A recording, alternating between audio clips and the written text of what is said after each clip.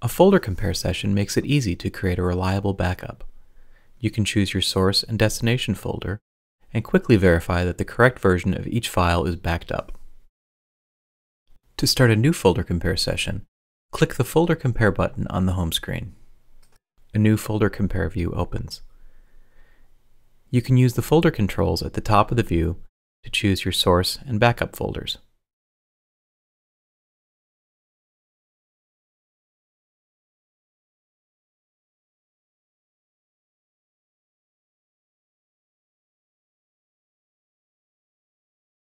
Alternatively, you can drop two folders from your system file browser on the Beyond Compare window.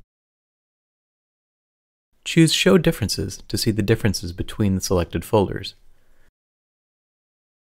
Our Source Photos folder is on the left, and the Photos Backup folder is on the right.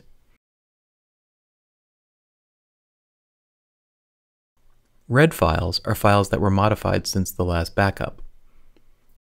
Gray files are unknown or older versions of files. Purple files are orphans that do not exist on the other side. If you want to update individual files in the backup folder, select a file and choose Copy to Right from the Actions menu or the File's context menu.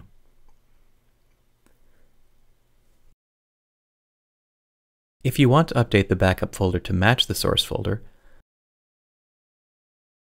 select the files and choose Synchronize, Update Right, or Mirror to Right from the Actions menu or the File's context menu.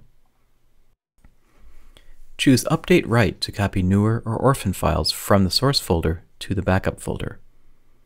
Choose Mirror to Right to make the backup folder match the source folder. Different items in the backup folder are replaced, orphan files in the backup are deleted, and orphan files in the source folder are copied to the backup. The preview provides a list of the files that will be synchronized.